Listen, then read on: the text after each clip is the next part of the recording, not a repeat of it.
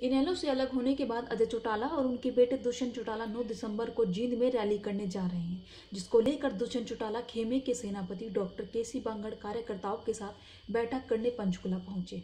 इस मौके पर उन्होंने कार्यकर्ताओं से भारी संख्या में जींद पहुँचने का आह्वान किया। साथ ही उन्होंने कहा कि सेवा से ही सत्ता में पहुँचा जा सकता है और सत्ता प्राप्ति के बाद सेवा करना कर्तव्य है।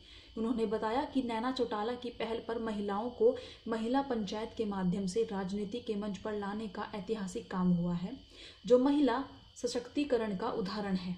हम अपना घर बना रहे हैं उसकी नींव नौ दिसंबर को रखेंगे। जब घर बनेगा तभी तो किसी मेहमान को इनवाइट करेंगे।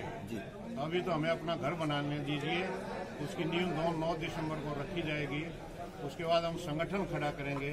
पार्टी का चुनाव चिन्ह लेंगे और सारी प्रक्रिया पूरी करने के बाद जब हम ये सोचेंगे और लोग देखेंगे कि ये संगठन और हरियाणा प्रदेश के लोग बहुतायत में संगठन के साथ जुड़ गए हैं तो गुड़ के ऊपर तो जो जैसे मक्खी गुड़ के ऊपर आती है, अगर हम संगठित होंगे, हम ज़्यादा संख्या में होंगे और हम मीठे होंगे तो लोग अपने आप